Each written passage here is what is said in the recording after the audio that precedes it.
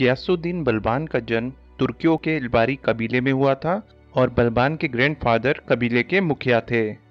जब बलबान बच्चा ही था, तब मंगोलों ने बलबान और उसके परिवार के कई सदस्यों को पकड़ लिया और एक गुलाम के रूप में बेच दिया। कई बार खरीदे और बेचे जाने के बाद बलबान को सुल्तान इल्तुतमिश ने खरीद लिया। उसकी काबिलियत की वजह से उसने बहुत तेज़ी से तरक्की की और 1236 तक वो सुल्तान इल्तुतमिश का पर्सनल अटेंडेंट बन गया। 1236 में सुल्तान इल्तुतमिश की मृत्यु हो गई, जिसके बाद उनकी बेटी रजिया सुल्तान ने अगले चार साल तक शासन किया। रजिया सुल्तान की मौत के बाद इल्तुतमिश के बेटे बहराम शाह ने दो साल तक शासन किया और जिसके बाद इल्तुतमिश के पोते महसूद शाह ने चार साल तक शासन किया। कम अवधि तक राज करने वाले इन सुल्तानों के शासनकाल के दौरान बलबान एक शक्तिशाली तुर्किक दरबारी बन गया। बलबान सुल्तान बैरम शाह के अधीन शाही अस्तबल की देखरेख करता था और महसूस शाह के अधीन सुल्तान के घर और दरबार को मैनेज करता था। इसके साथ साथ वो हासी और रेवाड़ी का गवर्नर भी था। सुल्तान से अच्छे रिलेशनशिप बनाए रखने के लिए उसने अपनी बेटी की शादी सुल्तान मसूद शाह से कर दी। 1246 में जब सुल्तान महसूद शाह को राज करते सिर्फ़ चार साल ही हुए थे, तब कुछ दरबारियों के साथ उनके मतभेद हो गए और दरबारियों ने उनकी हत्या करवा दी। बलबान सुल्तान महसूद शाह के प्रति अंत तक वफादार रहा और सुल्तान की हत्या करवाने में उसका कोई भी हाथ नहीं था।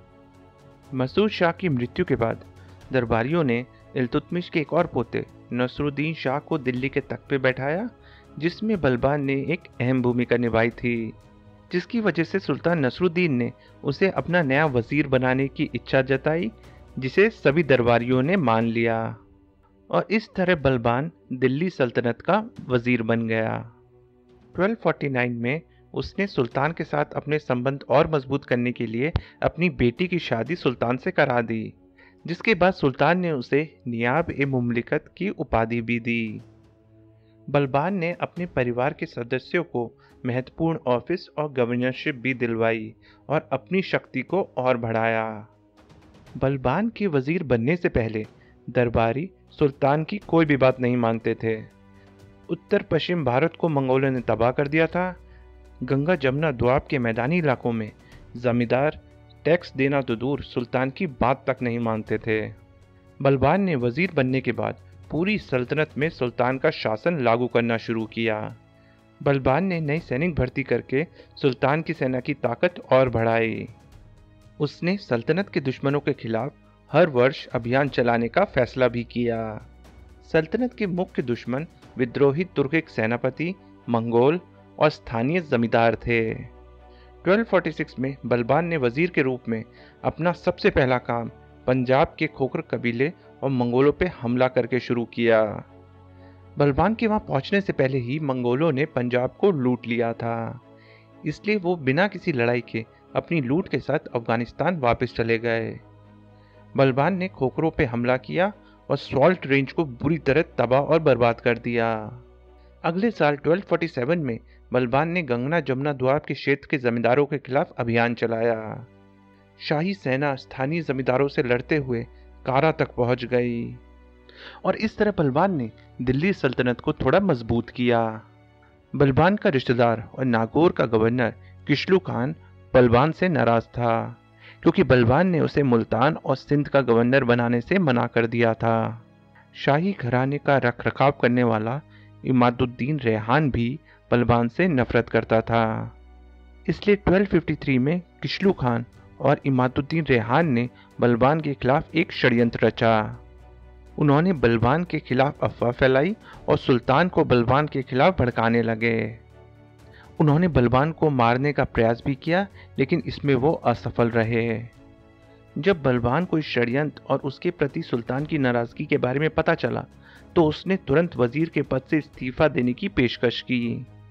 सुल्तान ने उसका इस्तीफा स्वीकार कर लिया और उसे हांसी का गवर्नर बना दिया। रेहान और किशलू खान ने सोचा था कि इसके बाद बलबान विद्रोह ज़रूर करेगा, लेकिन बलबान ने विद्रोह नहीं किया और अपनी गवर्नरशिप चलाने में अपना पूरा ध्यान लगाया। इमादुद्दीन रेहान वज़ीर के रूप में सरकार को सही तरीके से चलाने में विफल रहा। जल्दी उसने सुल्तान और अन्य तुर्किक दरबारियों का विश्वास खो दिया। एक वर्ष के भीतर ही दरबारियों के समर्थन के कारण सुल्तान ने बलबान को दोबारा वज़ीर बना दिया। बलबान एक चलाक पॉलिटिशियन था और उसने उसके खिलाफ षड्यंत्र करने वाले सभी दरबारियों को माफ़ कर दिया। लेकिन उसने ये भी सुनिश्चित किया कि वो एक दूसरे से अलग थलग रहें। जहाँ रेहान को उसने बदायूं की गवर्नरशिप दी, वहीं किशलू खान को उसने मुल्तान का गवर्नर बना दिया। यहाँ किशलू खान को मुल्तान की मंगोलों से रक्षा करनी थी। दूसरी बार वज़ीर बनने के बाद बलबान ने अपनी ताकत को और मज़बूत करने के लिए चार रणनीति अपनाई। पहली, नाराज़ तुर्किक दरबारियों को दूर और मुश्किल प्रांतों की गवर्नरशिप देना। इसका फ़ायदा ये था कि अगर ये दरबारी अपने प्रांत की रक्षा नहीं कर पाते हैं तो बलबान को उनको अपने रास्ते से हटाने का मौका मिल जाएगा। दूसरा विद्रोही तुर्किक दरबारियों को जल्द से जल्द हराकर उनका सर कलम करके उनकी ताकत को खत्म करना। तीसरा, स्थानीय जमींदारों की ताकत पे अंकुश लगाना। चौथा, मंगोल साम्राज्य से लगी सीमा की चौकियों को मज़बूत करके मंगोलों को भारत पे आक्रमण करने से रोकना। 1256 में इमादुद्दीन रेहान ने सुल्तान के खिलाफ विद्रोह कर दिया। रेहान को युद्ध के मैदान में हरा के बलबान ने उसको मार डाला। इसके बाद तुर्किक दरबारी कुतलुक खान ने विद्रोह कर दिया। बलबान ने अपनी सेना के साथ उस पर हमला किया, लेकिन सुतलुक खान सिरमुर हिल्स में बसे संतागढ़ राज्य में भाग गया। संतागढ़ के राजा रणपाल ने उसे आश्रय दिया। बलबान ने संतागढ़ पे हमला किया, लेकिन संतागढ़ पे कब्जा करने में वो असफल रहा। इसलिए उसने संतागढ़ के आसपास के इलाकों को तबाह कर दिया।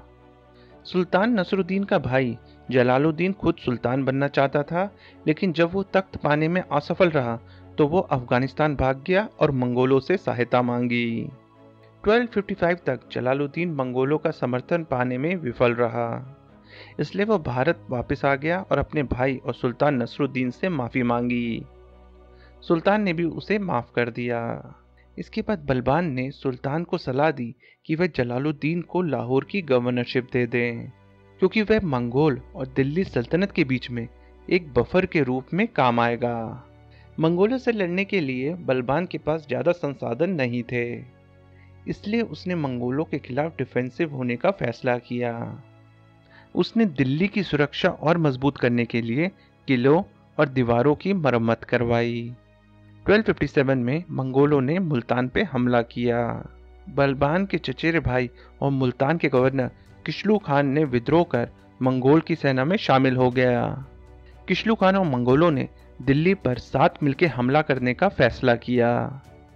लेकिन बलबान को इस समझौते के बारे में पता चल गया। उसने मंगोलों के साथ राजनीतिक संबंध स्थापित किए और मंगोलों के एम्बेसडर को दिल्ली आने के लिए आमंत्रित किया। 1258 में मंगोलों के एम्बेसडर ने दिल्ली का दौरा किया। बलबान ने मंगोलों के एम्बेसडर को दिल्ली सल्तनत की विशाल सेना दिखाई, जिसे देखकर अम्बेसडर इतना प्रभावित हुआ कि बलवान के जीवित रहते हुए मंगोलों ने कभी भी दिल्ली पे हमला नहीं किया। लेकिन अफ़गानिस्तान में मंगोलों की उपस्थिति के कारण, बलबान, मुल्तान और लाहौर को दिल्ली सल्तनत के प्रभावी नियंत्रण में लाने में असफल रहा। शक्तिशाली राजपूत राज्य अभी भी मध्य भारत के महत्वपूर्ण शहरों पर राज्य करते थे। बलबान से पहले दिल्ली के सुल्तान कुतुबुद्दीन ऐबक और इतुतमिश ने पहले भी किलिंजर और रणथम्पोर जैसे किलों पर कब्जा किया था, लेकिन राजपूतों ने उन्हें बार बार किला छोड़ने पर मजबूर कर दिया था। वज़ीर के रूप में बलबान ने भी इन शहरों को जीतने का बार बार प्रयास किया। 1249 में बलबान ने किलिंजर पर हमला किया, लेकिन किलिंजर पर कब्जा करने में वो असफल रहा। 1251 में बलबान ने ग्वालियर को जीतने का प्रयास किया लेकिन उसे भी जीतने में वो असफल रहा। 1248 और 1259 के बीच रणथंबोर को जीतने के बलबान ने तीन प्रयास किए, लेकिन वो उन तीनों में असफल रहा। दिल्ली के दक्षिण पश्चिम में रहने वाले शक्तिशाली मेवाती लोग भी निडर होते जा रहे थे। वो न केवल दिल्ली के आसपास, बल्कि दिल्ली शहर के अंदर भी छापामार हमला करते थे।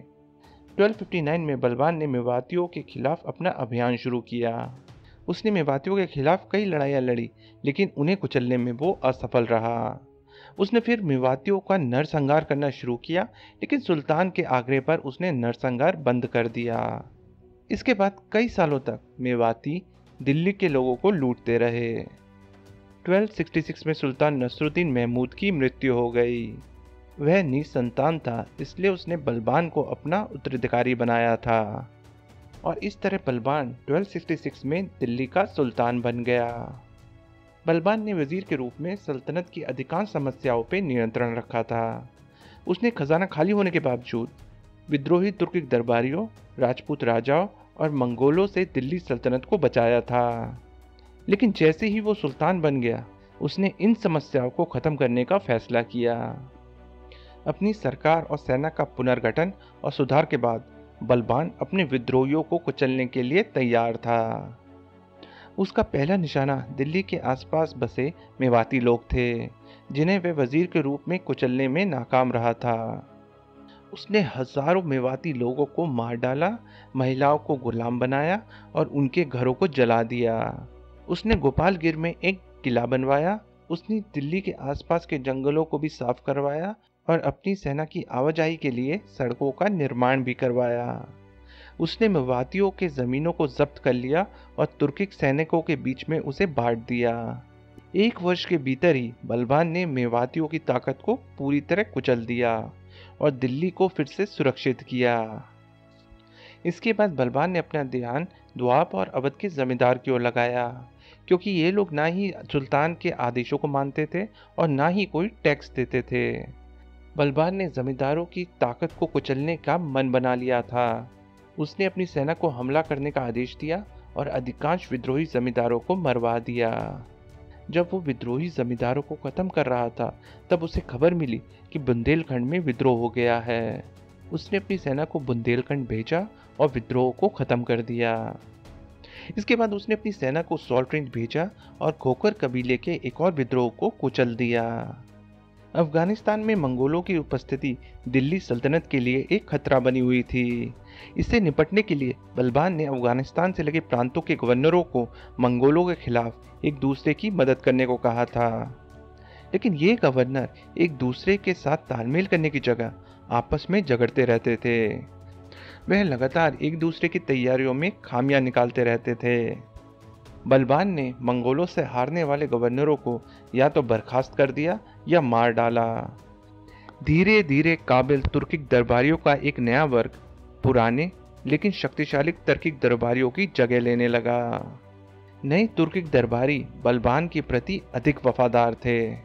इन नए तुर्किक दरबारियों में से एक जलालुद्दीन खिलजी भी था, जो बाद में सुल्तान बना। 1279 में सुल्तान बलबान बीमार पड़ गए और अपने बिस्तर तक सीमित रहने लगे। इसका फ़ायदा उठाते हुए मंगोलों ने पंजाब पे एक बड़ा हमला किया। बलबान के बेटे राजकुमार महमूद ने उनका मुकाबला करने के लिए शाही सेना की कमान संभाली और मंगोलों को पीछे हटने पे मजबूर कर दिया। मंगोलों के हमले का फ़ायदा उठाते हुए बलबान के सबसे भरोसेमंद अधिकारी और बंगाल के गवर्नर तुगरिल खान ने अपने आप को स्वतंत्र घोषित कर दिया। बलबान ने अवध के गवर्नर आमीन खान को बंगाल को फिर से जीतने और तुगरिल खान को मारने के लिए भेजा। युद्ध के मैदान में तुगरिल खान ने अमीन खान को हरा दिया। बलबान ने अपनी हार के लिए अमीन खान को मरवा डाला। इसके बाद सुल्तान ने तिरमती खान को भेजा, लेकिन वह भी तुगरिल खान से हार गया। तुगरिल खान को हराने में असफल रहने पर सुल्तान ने तिरमती खान को भी मरवा दिया। सुल्तान बलबान ने अपने खराब स्वास्थ्य के बावजूद तीसरे अभियान को खुद लीड किया। उसने एक विशाल सेना खड़ी की और बंगाल पे हमला किया। तुगरिल खान बंगाल से भाग गया क्योंकि वो इतनी बड़ी सेना से नहीं लड़ना चाहता था। तुगरिल खान उड़ीसा भाग गया, लेकिन शाही सेना ने उसे पकड़ लिया और उसे मार डाला। सुल्तान बलबान ने तुगरिल के परिवार के सदस्यों, उसके दोस्तों और उसके समर्थकों को कई दिन तक टॉर्चर करने के बाद मार डाला। इसके बाद बलबान ने अपने दूसरे बेटे बुगरा खान को बंगाल का गवर्नर नियुक्त किया। बंगाल से जाने से पहले बलबान ने उसे चेतावनी दी कि अगर उसने भी कभी सुल्तान के खिलाफ विद्रोह किया तो उसके साथ भी ऐसा ही व्यवहार होगा। बुगरा खान बंगाल में हुए नरसंहार से इतना भयभीत हो गया था कि उसने दिल्ली की राजनीति से दूर रहने का फैसला किया और बलवान की मृत्यु के बाद सुल्तान बनने से इनकार कर दिया। बलवान ने तीस हज़ार घोड़ेसवार सैनिकों के एक विशेष बल को बहुत कम समय में मंगोलों के खिलाफ तैनात करने के लिए बनाया। लेकिन सुल्तान बलबान मंगोलों के खिलाफ हमेशा डिफेंसिव ही रहे और उन्होंने मंगोलों को पंजाब से पूरी तरह हटाने के लिए कोई सक्रिय कदम नहीं उठाया। इसके बावजूद बलबान ने लाहौर, मुल्तान और उंच पे अपना नियंत्रण बनाए रखा। 1285 में मंगोलों के नेता तैमूर खान ने पंजाब को जीतने के लिए एक बड़ा हमला किया। राजकुमार महमूद ने अपनी सेना इकट्ठी की और मंगोलों के खिलाफ लड़ाई लड़ी। लेकिन राजकुमार महमूद इस युद्ध में हार गए और युद्ध के मैदान में ही मारे गए। इसके बाद मंगोलों ने दीपलपुर और लाहौर शहर को तबाह कर दिया। इसके बाद राजकुमार महमूद के जवान बेटे काई खुसरो ने शाही सेना की कमान संभाली और पंजाब की ओर कूच किया। लेकिन शाही सेना के आने से पहले ही मंगोल अफ़गानिस्तान वापस चले गए। शाही सैनिकों के समय पे आने की वजह से मंगोल सेना मुल्तान और उंच को नहीं लूट पाई। राजकुमार महमूद, जो 1285 में मंगोलों के खिलाफ लड़ाई में मारे गए थे, वो सुल्तान बलवान के उत्तराधिकारी और सबसे पसंदीदा बेटे थे। राजकुमार महमूद की मौत के कारण सुल्तान बलवान बहुत दुखी रहने लगे। और एक वर्ष के भीतर ही 1287 में 80 वर्ष की आयु में उनकी मृत्यु हो गई। बलवान ने अपने पोते राजकुमार महमूद के बेटे काई खुसरो को अपना उत्तराधिकारी चुना था।